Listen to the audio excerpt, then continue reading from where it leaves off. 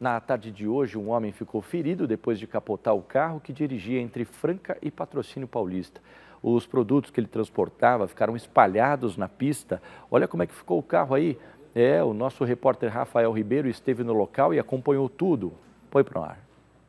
Acidente registrado aqui na rodovia Ronan Rocha, sentido Patrocínio Paulista.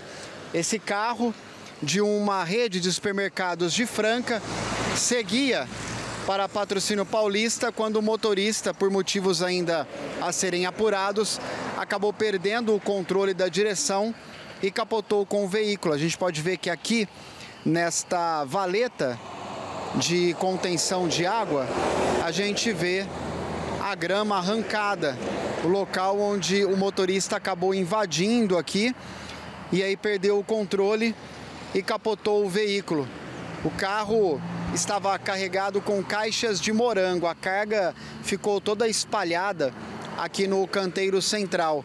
O motorista estava sozinho e, por sorte, teve ferimentos leves.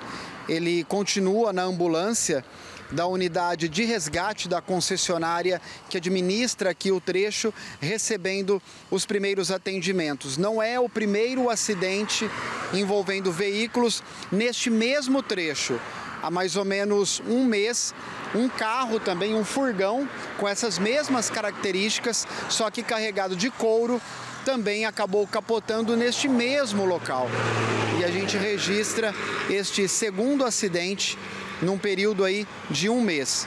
Polícia Rodoviária está aqui no trecho, elaborando o boletim de ocorrência. Funcionários da concessionária acabaram interditando uma das faixas aqui para o atendimento do motorista e também a chegada do guincho para retirar o carro aqui da rodovia. O trecho, o trânsito segue lento aqui no local, os motoristas precisando reduzir a velocidade e a gente registrando aí muita carga de morango também no interior do carro e a ambulância nesse momento saindo aqui da rodovia para levar o motorista para a UPA do Jardim Aeroporto, a unidade de pronto atendimento, onde ele deve passar ali por exames e também ser medicado.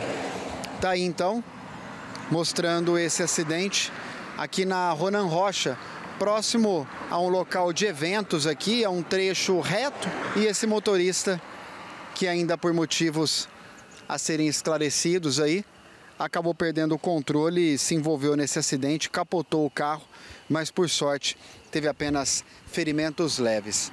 Com imagens de Jacir Aires, Rafael Ribeiro.